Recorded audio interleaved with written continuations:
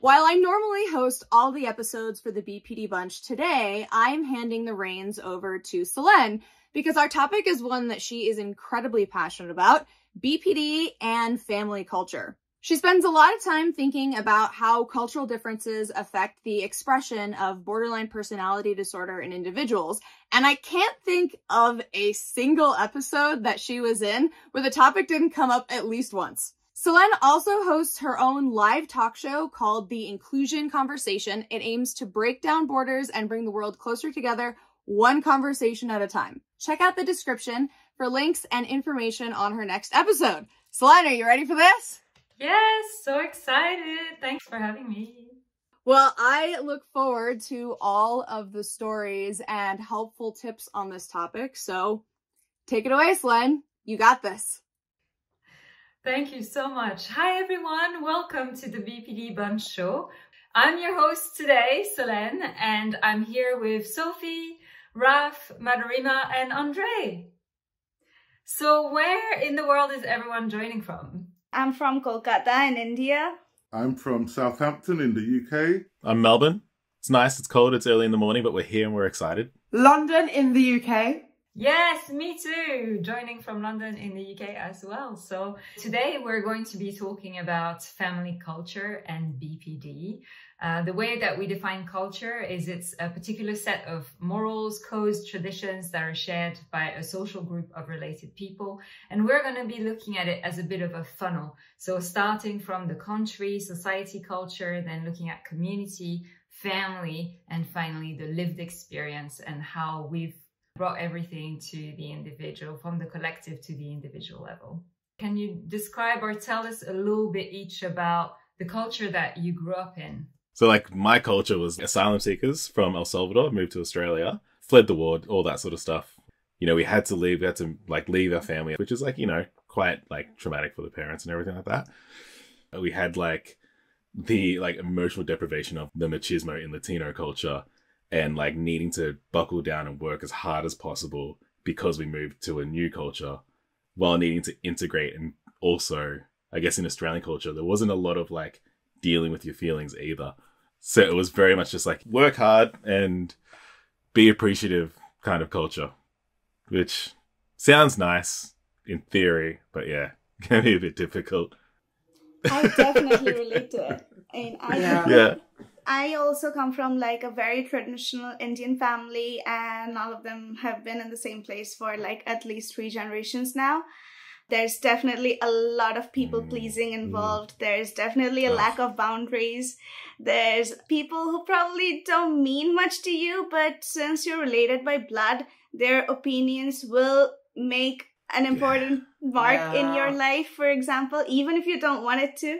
I, I will have people who have not seen for five years and they'll be like, Oh, remember, I'm your uncle from this place and I yeah. think you should be doing this with your life. Who the hell are you? And yeah. you? like, like, yeah.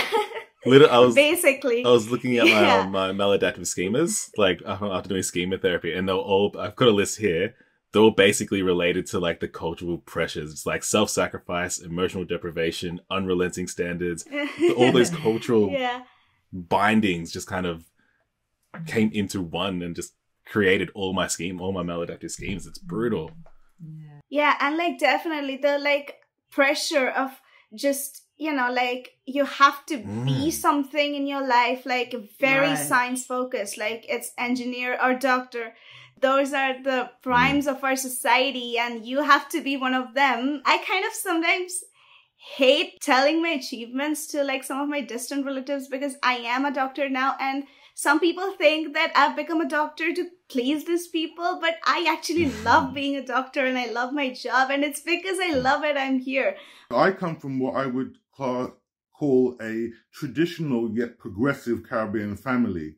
Um, and like some of the others, um, even though there are certain expected norms from my family culture, um, from my um, greater culture, my family always encouraged me to be myself, be different.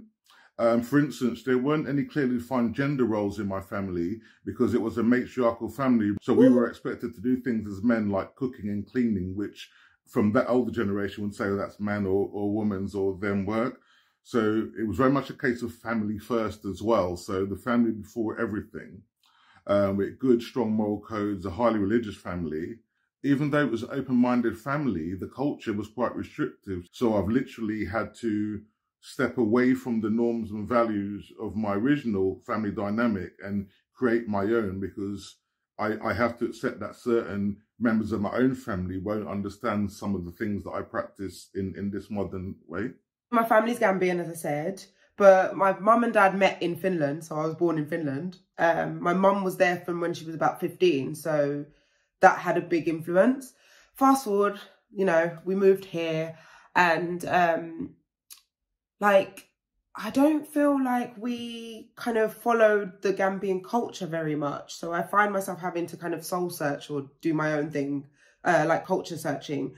I, when we came here, I went over to Gambia for two years. So I learned the language. So I'm fluent, which is amazing because I just nice. feel like that's the one nice. part that like, go girl, yeah. Like, yeah, you know your language, you know? um, my, my dad and my mum, well, more my dad was very much sort of like, you know, doctor, nurse, not doctor, mm. pharmacist, lawyer, like as if those were the only trades that you can get mm. into. Like if you're not doing that, then why why are you even here, sort of thing. Yeah. Um, so that was pretty hard. Um, I think relative to like pride, like showing up as like somebody that they could be like, yeah, my son's are this, my daughter's a, you know, top lawyer at her firm or whatever like that that's like what pride is based on. So i think um that was very much a big big value growing up um just know, knowing that you you have to work hard you know? Um and i think that also like perpetuated that feeling of like what will people say which is uh, like i definitely feel like i adopted you know? Like even now as a grown up i'm kind of like oh what will people say? And i have to like say to myself no no that's not what we're doing today we're going to take our own, you know, pathway, honey. Like, don't be listening mm-hmm. to other people. Um, happy to go next. So, um, grew up in France, um, French parents, born, raised in the same country, generations and generations of, of French people as well. I think the culture in general, very like pushing for success. Both my parents are engineers um, mainly people are either engineers or doctors, basically, all in science. So there I appeared. Hi, I'm, I love art. Can I draw? Can I dance? right, Can I do right. Yeah. Um, and you know, the culture very rational. Like, you know, mm. everything has a place and everything makes sense. And, you know, why are you so emotional? You know, and I was there, you know, this ball of emotion, like, oh, you know it's like no you know like just just get over it. It's no big deal. Oh, it's a massive deal. So so definitely felt like an odd one out um, in the kind of small family unit but also in the wider family as well um, mm. and really struggled with finding kind of a middle ground a middle path between the expectations and my own nature and and you know what I wanted to do, I wanted to be, and and all of these things. And when I was 18, I left uh, France for the first time. I moved to Norway. Then I lived in the US, then in the UK, then China, then Australia, uh, and now I'm back in the UK in London. So almost half my life I've spent in different countries now. Um, and it was really in Australia first with, uh, and maybe Raf, you can relate to this, uh, are you okay day that I realized, oh, I'm not okay. Can we talk about that? People, do people talk about these things? Oh my God, really? Really? Um, and, are you okay uh, day? Yeah. Because in France, like, especially at work, yeah. Uh-uh. your work life is your work life. Your personal life is your personal life. My parents taught me and brought me up in a culture where those two things are completely separate. Really? Um, so there's a clear divide and you, you don't bring your whole self to work. You don't trust anyone at work. They're not your friends. They're your colleagues and there's a big difference, etc. That's so interesting. Yeah. Cause like in Australia, like your work, the people who you work with kind of eventually become like your close friends. Like Danny, my best friend who I dated her for eight years, we met at work and all of our entire circle of friends were from work or like in music or something like that. So that blows my mind that that's just not a thing. It's changing, but yeah, generations prior, is it's big big divide and definitely no emotions at work no to and if you even go to france now and i joke about about this with my sister all the time a lot of american and british companies go you know and say let's have a session about emotions mental health well-being and french people go like Wow. I mean, yeah, sure, like whatever. I mean, that's clearly like an Anglo-Saxon kind of kind of issue. Like we don't, you know, we we're fine, we're good, we're good, and then shrug it away and move on, you know.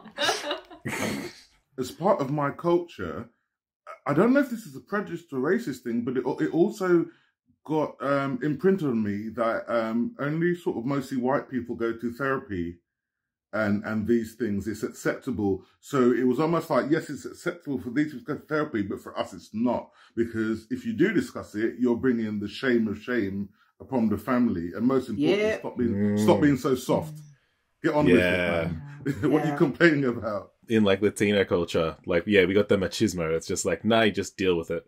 Like, you, you, there's more important stuff to deal with than your emotions. O- Other people Yeah. have dealt with it. African culture as well. Yeah. You depressed, open a window. Yeah. Wash your face, go outside. What do You you, mean? sad, have you're some depressed? food. You're like, no, Right, we, need, we need to talk. No, you need to eat. I'm like, no. Awesome. So let's move on to the juicy bits. Um, we're starting with the question like, how does or did your family culture, so it could be your close family or wider family, view BPD? Um, the good, the bad, anything in between? André, go for it. imagine the scene it was the year ad before bpd became really hardcore mental health and trauma were not were not discussed in my family as as a standard thing um, so the actual understanding of BPD itself, I, I think that still eludes a lot of my family members, which is why I'm actually doing this show in the hope that they can watch it and be a bit more informed. Um, I came from a family that were quite religious, so when you first say anything like you don't feel well, the natural thing is you need to go and pray this out of you because that's that's the go-to way to solve problems. Then, if that didn't work, it would be think about other family members who might be um, in a more vulnerable position. They might need your help, and they should be your priority because you you're not able to break down now because they need you. So the sheer um, amount of guilt and shame that that manifests in you, the thought of me not being able to fix what's in my head, I hid it. I hid it away from my whole family. I would literally lie um, to them about reasons why I was in a bad situation, anything opposed to admitting that I was there. And when you do initially talk to some people in my family, they wanted to try their best, but what they also want to do was you was fix you by doing what makes them feel better. So it's almost a place where you're listening, but you're not understanding. And then the other end is almost like um, I think there's been a clear lack of education because people often confused with the difference in um, between mental health and mental illness. So most of my um, family members that I've spoken to have just assumed that I'm having a bad few weeks, and they almost have this thing of well, asking me to do something that what would they do in that situation? So when you come from a high achieving family, their their answer would normally to throw yourself into work or to busy yourself, and then you'd kind of be able to move on and forget about it and recover. yeah, the throwing yourself into work thing. Um, I lost count of the amount of times where like I would be like upset or like shit or shaken or just something, but not know about it. Because I'd be like, oh, I've got too much work to do. I'm just going to focus on that for a while. I remember one time I was in Sydney, just cooking dinner, had a big, beautiful house, cooking a beautiful dinner. Everything was great. Oh, this is so much fun. And boom, I just started bawling my eyes out. And I was just like, everything is good, but why am I so sad? So like I think I mentioned before, like, you know, because we have those like we have to work, we don't do don't worry about our feelings, we don't do all that. Um my BPD, well my maladaptive schemas, which are like thought of as filters through which we form our behavioral strategies and our perceptions of ourselves and others. So basically, like, you know, the way we act and the way we view ourselves through those ways we act and how we behave to other people.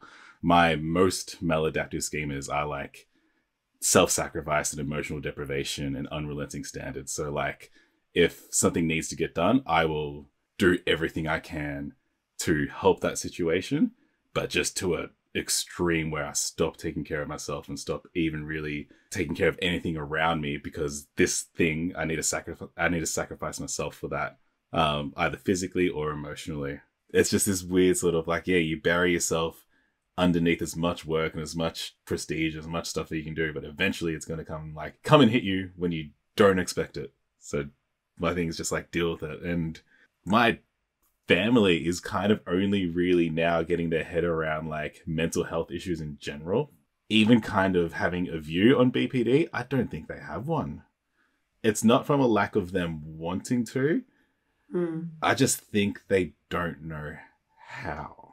Sophia or Madhurima, any uh, reflections on how did or does your family culture view BPD? I kind of agree with what Raf said because um, I don't think they have yet formed a view on what BPD is because I don't think they understand what it is. When I try to explain them that, um, to put it very, very simply, it's emotional dysregulation.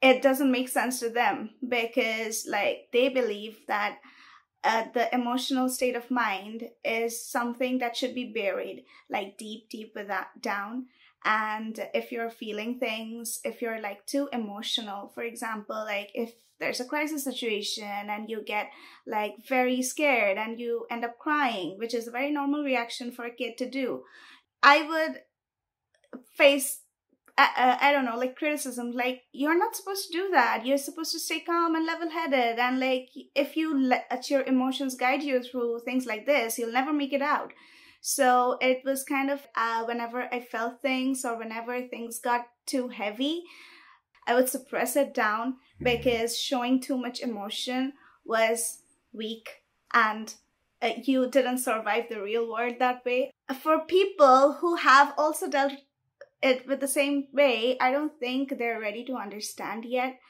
to accept that there is nothing wrong with feeling things. It's a healthier way to cope with emotions, but they're come warming up to it. So I would say right now the view on BPD, it's like it's work in progress. One baby step at a time. Sophie, what about you? My close family members are only really starting to get it. Like the older generation anyway. Like the younger ones have like some of them have taken themselves into therapy, etc. etc. Um, which is really nice um, but a few years back, when someone was characterized as like aggressive or like just the person who would lose their shit all the time or whatever, it was just like, oh yeah, that's so and so, that's just the crazy mm. person. They get annoyed, they get angry, that's just them. But it was never like there's like a deeper level to why this is happening. It's mm. just they're just they're just mad. Definitely like there's this element of like toxic positivity you know, like when people are kind of like, when you're like, I'm having a crap day and, uh, you know, you're feeling maybe a bit like depressed or suicidal or something, there's people out there who have it worse than you or like things happen for a reason. And I'm like, okay, well, stop right there for a second. Yeah. Can we just be where I am at right now and just like validate my emotions?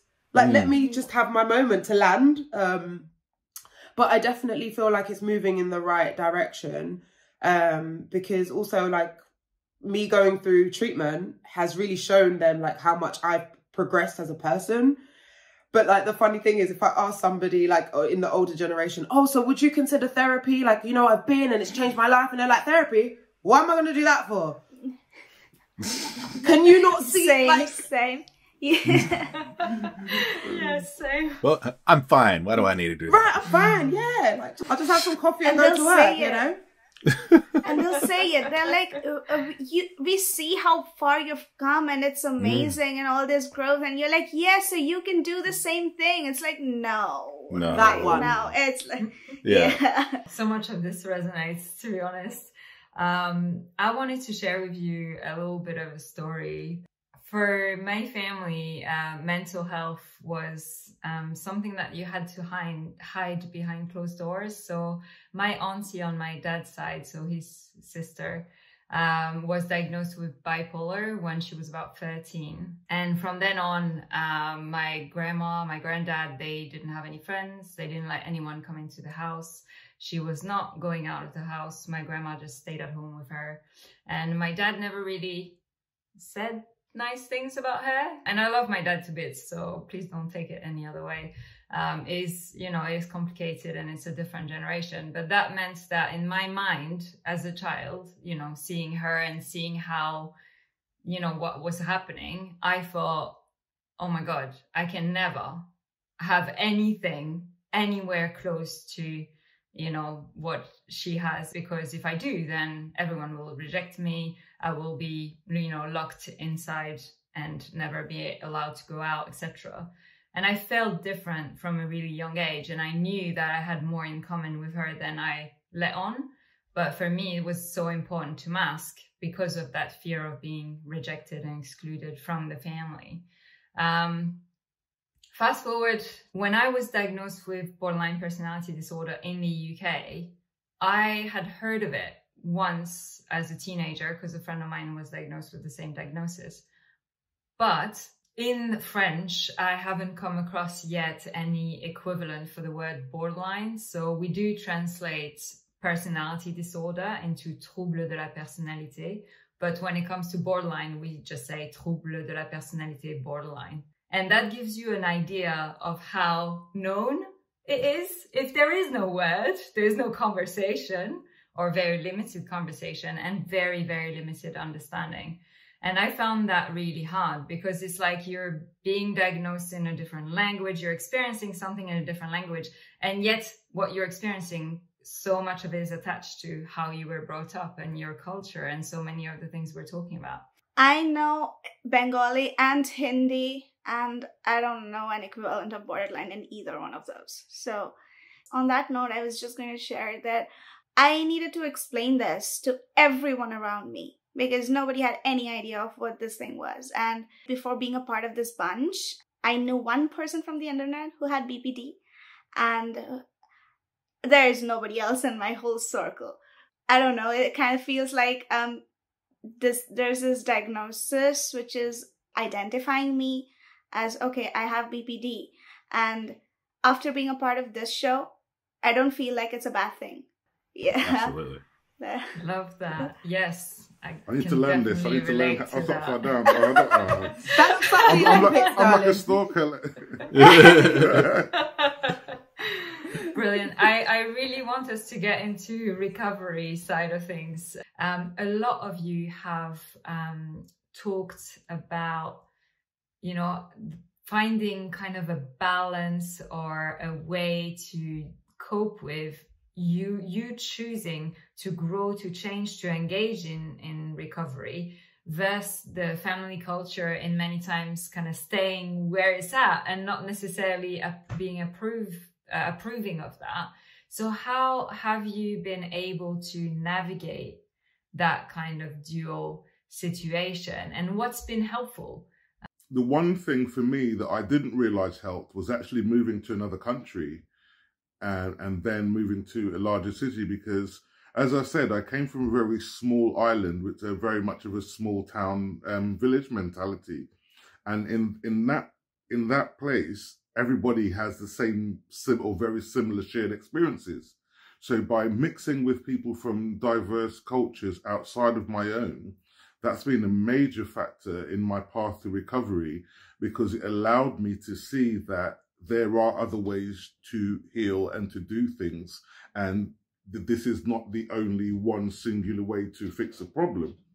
So what I realized is for much of the pre-treatment years, I was lying to myself about my willingness and my availability and, and to, to want to be healed. So actually engaging with um, a GP, a general practitioner doctor, first of all, um, and unfortunately through um, me not wanting to be on the planet, I engaged with what we call a crisis team, which ordinarily would have been seen as a negative thing. but it's the best thing that happened to me because it forced me again to address my issues. The, the singular most important thing I can say to anyone watching is take the first step by talking to someone that you feel can give you a safe space. It doesn't have to be a medical professional initially, but make sure it's someone who will then maybe try to support you to reach out and ask for help. One of my friends actually phoned my doctor on my behalf because I was so embarrassed to phone. So they literally made me go to a doctor and video called the doctor and said, right, this is the problem. Thank you, Jacqueline, for that. I love you so much for making me do that. I can definitely relate to the first point that you mentioned about moving to a different place. Um, I think in two ways. One, I left home when I was 17 and I realized how, you know, much positive there was at home that I didn't see because I was in the BPD mind as well, right? Because everything was black and white extreme thinking and it was usually really dark at that moment. And so stepping away, having to live on my own and realize, oh, when I move, I also take myself with me. Hmm, maybe there's something there. So I think that was really instrumental. And then same as what you said, André, like living in cultures that where you can talk about mental health, where you can go to therapy and not be judged for it, where you, you know, it's actually encouraged, you know what I mean? Like that's like, whoa, like that mm-hmm. was absolutely game changing. Um, the second thing for me was I wrote a, a memoir um, when I actually arrived in Australia um, about kind of, yeah, my, well, I guess my life from birth or what I remember of it uh, to about 30. And my family read it. And it was the first time that I think they read my version of our story.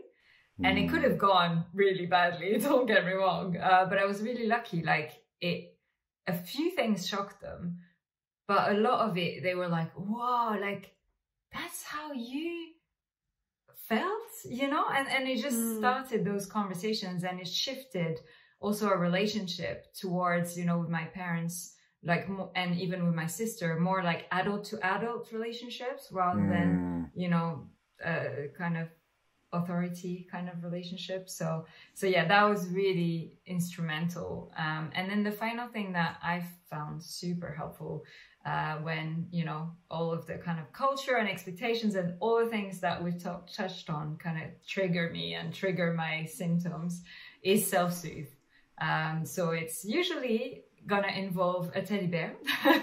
um, a few, a few of us I know in the bunch have uh, their go-to the cuddly toys or soft fabric. So squishmallows, love squishmallows. I have one in each room, um, and definitely that kind of yeah self-soothing through soft objects it just really helps me to kind of bring me back into my body, back into the moment when I feel triggered by those different family expectations or stories or limiting beliefs. So, like the the growth within myself part, definitely like seeing a therapist and having a specialist and a psychiatrist. That all was a thing to help me figure out what it was that I guess I felt misunderstood about by my family. So like I always knew that there was something different about me. I like literally since I was in my earliest memory in like prep was me thinking like I'm just different than everybody else here and I don't know why. Going through that process of like figuring out what it was that I didn't know about myself so I could then communicate that to my family or to other people because before that it was just like I'm angry or I'm sad or you guys piss me off. Like the first conversation I had with my mum about anything like anxiety or depression related was me just yelling at her on the phone, telling her to just leave me alone. Which didn't really help. It let her know that I was going through shit, but it didn't really start a conversation or anything. After figuring all that out, I've been able to, yeah, kind of communicate that, I guess, in a way that I know that they could understand. You can communicate the exact same thing in two different ways and have two very, very different results. Um, and I think it was mostly that figuring out my own thing. And then also things like this, like finding that community where you can hear other people's stories of the same thing and increase and like enhance your own vocabulary of what it is that you're going through. And then communicating that to the family around you. That's probably been the most helpful thing. Um, going through therapy and all that sort of stuff. That's probably been like one of the bigger things for me. Um, which is hard because a lot of those treatment options are expensive and like not covered. But yeah, that's a it's definitely been my biggest thing personally, anyways. Moving abroad is also an expensive option, uh, which which is true. It's like treatments are moving abroad. yeah. Um, but yeah, it's fair that um, yeah, some of the, these options are are not you know readily available. I think other things that you can do in terms of like just changing your environment you know it could be like uh, meeting new friends uh, going to unexpected events you know following different people online there's lots of ways to kind of move without moving if that makes sense I think yeah, I think that was a big thing when uh, Danny and I moved to Sydney, like completely away. When we just moved to the city, away from my family a little bit, and then moved to Sydney completely far away. That's when we started actually, yeah, kind of thinking about like mental health issues, and yeah, was actually yeah. probably one of the biggest steps personally before all the therapy. So yeah, I'll probably agree with that. The moving. As somebody who has not had the like I don't know means or luxury to move, I think what is really important is to have patience and to have that intent in the form of that mm. very positive voice in your head. Like uh for me it was like I was determined that I can't feel like this about myself anymore. So I have to mm. do something about it. And I was still in the same household that I grew up, and I still am. But what is important is that you have your own space, like even if it's not a physical space, your own mental space, like you have your own journals or your own creative space or your own workspace, or even if you don't have that in your house, you can, you know, go outside, sit in a little sit in the grass or in a little cafe and like do some thinking and some reflections and that's what I did. So and that worked for me and that it was really important for me to have that self-confidence back and to have that self-worth in me reinstated so I could have that conversation with my parents where I could talk about see these are the problems that I'm having and I need you to meet me halfway. And this is how we can move on from these problems. And uh, sophie what what do you think? I kind of went down the rabbit hole of like you know uh, studying psychology and stuff like that. And i was in and out of therapy from a young age because my mum always used to say stop telling people your business. But i was just so open-minded and wanted to like speak to people and understand things. And i feel like that led me to where i am and who i am today I was curious enough to go and find out about myself, you know? I know that when I'm able to not react, but rather respond and like ask the questions and remain curious, then I always, I, you can't go wrong, can you? Sometimes I do. Um, but yeah, that's definitely been a thing. And being compassionate towards like other people, especially having become a mother myself, sometimes I want to do the same BS that like happened to me. You know, when I'm upset or I'm in a mood or like she does something and I want to criticize her and I'm like, uh, hold on. It's made me think, okay, so my parents might have felt even more than this and not able like and they weren't able to like process it and be like have a filter because they didn't go through the journey that I went through, which was me being curious and finding out and learning more about myself. So, yeah, I think definitely having a child, being curious, and you know, cultivating compassion has definitely helped me on my journey. Yeah, I think this has been really, really good uh, to hear just everyone's, um, you know, takeaways on balancing the our our own growth and then the the navigating our family cultures uh, without being you know in a, in a blame state or um, you know just putting everything on one side or the other right? We also need to take some ownership lots of ownership for um, how we show up in the world. And we've mentioned this earlier but also it's about how does it change from here what is going to be our input you know is it going to be going from react to respond? Is it going to be going for treatment to understand ourselves better and show up differently in the world? Is it going to be becoming different parents? Whatever it is what are we going to do to, to take ownership and to um, you know take in, in a positive direction? I just i don't know. if i like actually made it out like my family is supportive. Like my close you know, knit family are very much supportive, including my mum. She tries harder than anybody. And my sister watches the episodes every time they're out. She was like, You killed it, girl. Like, I, I don't want to seem like I'm trash talking my family because it's not that at all. uh, outside some of the the less happy moments, I still come from a family that have taught me how to overcome problems. And it, it's that core um, mentality that has put me where I am today. They, they, they still instilled in me the ability to believe that I could be better and I, I, I can thrive in any environment. So for that, to my family, I'm very grateful. That I kind of want to send a shout out to my family. Like, is that okay? Let's go. I have a very, very, very uh, sweet family, and I'm really, really glad for all the hope and the support they show. And I love my parents and I love my sister, and I wouldn't be where I am without them right now. So, yay. I think thanking to my mum mostly for like allowing me to kind of just be open and like expressing how I was feeling and stuff like that when it would have been really hard for her to make space for even her to express how she was feeling. Love your family, chosen or biological. Thank you. Shout out my mum, my sisters, uh, and my friends. You guys are amazing. You know who you are. You are amazing at trying to understand and digest and just be there for me and hold space for me. So I love you guys. Big up yourselves. A huge thank you to my parents and my sister for accepting me in the way that I am. And thank you to my husband for loving me somehow, even when I don't know how to love myself. Uh, and thank you to this community and all of my friends who have been around uh, through thick and thin. Thank you for bearing with me for, for it all. I'm gonna cry. Stop it. Are we accepting the Oscars or something? This gratitude. And thank gratitude you is to uh, my sponsor.